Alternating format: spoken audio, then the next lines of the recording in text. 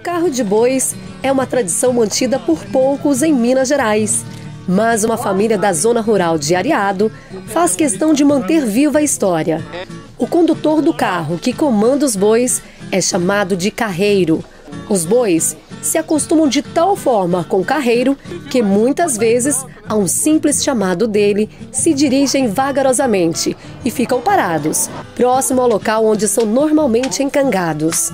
E para ser um carreiro, tem que ter dedicação e gostar da profissão.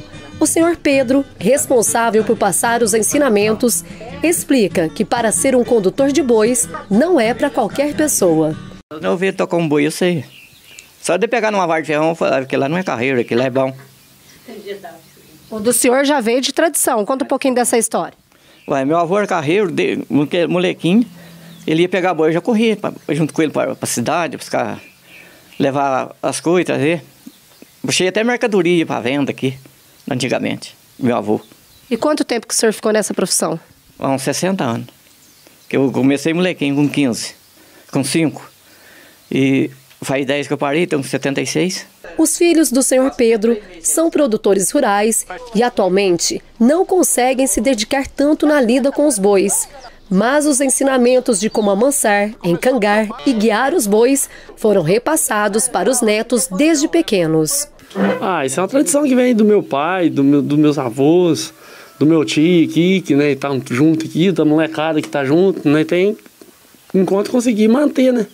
Ver se não acaba.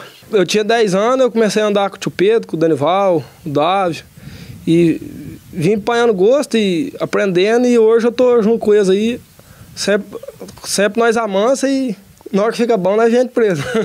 Desde os 5 anos eu comecei a andar atrás deles, com os carros de boi, ir pra festa, eu com meu avô aqui, nós ia tudo junto. E o que, que você sabe fazer hoje em dia? Ah, nós mansa uns bezerros, vai pelejando com a vida aqui. Acho bonito um moleque desse aí pegar uma vara de ferrão, tocar um boi, saber cangar um boi e brochar. O carro de bois é usado pela família para transportar pequenas cargas e em encontros de carreiros, que acontecem com frequência pela nossa região. E para a montagem do transporte é necessário seguir uma hierarquia.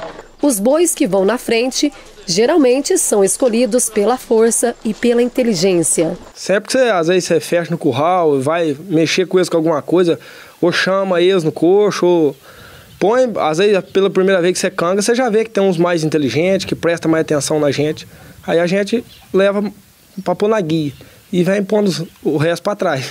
Na contramão do progresso que trouxe a mecanização na lida das roças, o transporte de carros de bois foram substituídos na maioria dos lugares.